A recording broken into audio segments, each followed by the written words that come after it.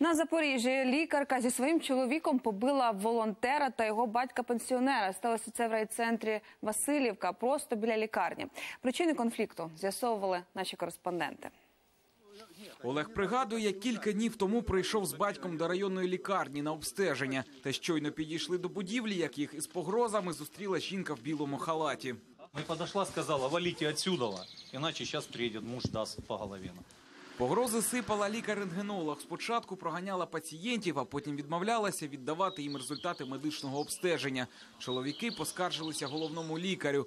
З медиком провели виховну бесіду. Та вже за кілька хвилин після інциденту лікарка та її чоловік, каже Олег, таки накинулися зі стусанами на батька, а потім і на нього. Я подошел, спросил, в чем дело, ну и сразу получил удар, вот тут упустил телефон.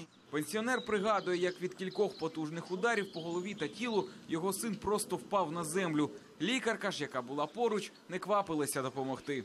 А она э, еще хватала моего сына, держала, чтобы он мог, э, муж, нанести удар ему. Ну, я не знаю, мы сюда за помощью приходим, э, как говорится, в больницу, а получаем вот такой э, конфликт. Аби дізнатися про причину такої поведінки лікарки та її чоловіка, намагаємося знайти її на робочому місці. Проте кабінет зачинений.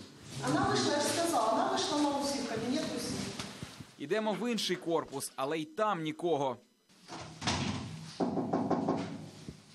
Два часа дня, понедельник. Невтішною виявилася спроба знайти горе подружжя і вдома. Керівництво районної лікарні стверджує, інцидент, мовляв, був. А ось побиття пацієнтів не бачили. Тож і коментувати нічого. Щодо роботи, то претензій до підлеглої не мають.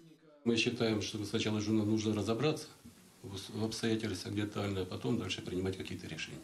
Такої думки і в місцевій поліції кажуть, чому лікарка та її чоловік напали на волонтерів, їм поки що не вдалося з'ясувати. Проводяться слідчі дії, відкрито кримінальне провадження, про що вас буде додатково проінформовано. Все. Дякую, до побачення.